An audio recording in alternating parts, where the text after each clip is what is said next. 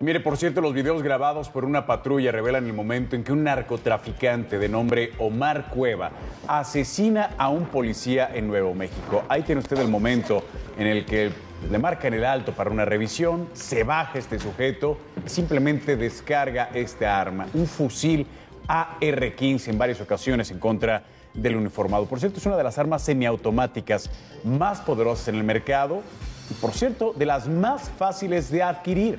Después de cometer el crimen, usted lo ve, escapa, fue perseguido por más elementos y tras un enfrentamiento con la policía, finalmente es abatido, ahí se baja, simplemente dispara en contra del oficial.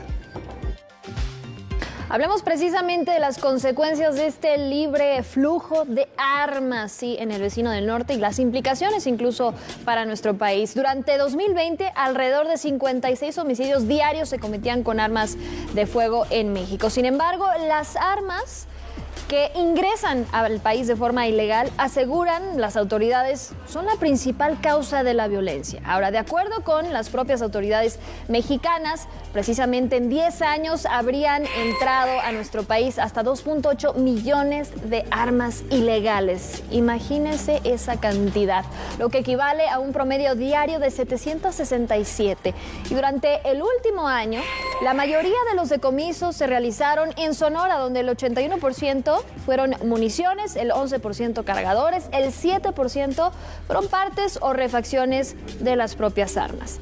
Ahora, se calcula que precisamente Estados Unidos es el principal país de donde llegan estas armas de forma ilegal, con un 70% del total. Y tan solo en Arizona, pues bueno, este estado sería el responsable del 15% de las armas que están circulando libremente entre las fronteras. Ahora, en enero, pues a unos días de terminar su encargo como embajador de Estados Unidos en nuestro país, Christopher Landau reveló que el gobierno federal rechazó la donación de equipo para detectar estas armas.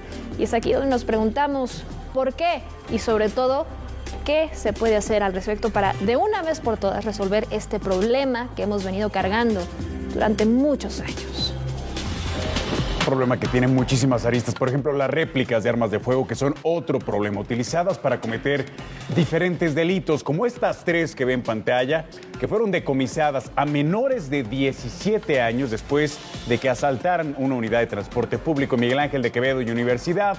Esto es en Coyoacán, aquí en la Ciudad de México. Y es que actualmente, de acuerdo a la Ley Nacional de Justicia Penal para Adolescentes, los menores de edad no pueden ser encarcelados por cometer ilícitos con este tipo de armas. Obviamente ya se las saben, por eso las utilizan. Y perdóname, esa pistola, réplica o no, enfrente de tu cara, simplemente es imposible poder identificar. Se trata de un arma real o un arma falsa.